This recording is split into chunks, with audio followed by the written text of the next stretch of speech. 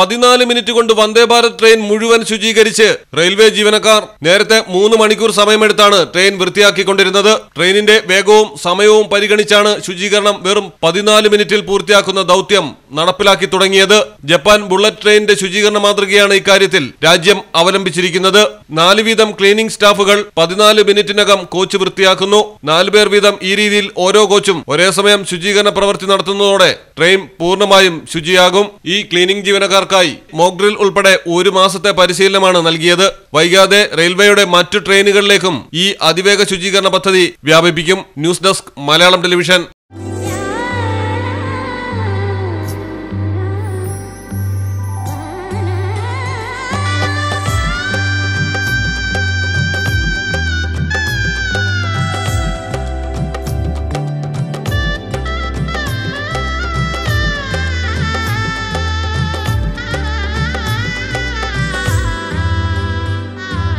Celebrate the moments of colors.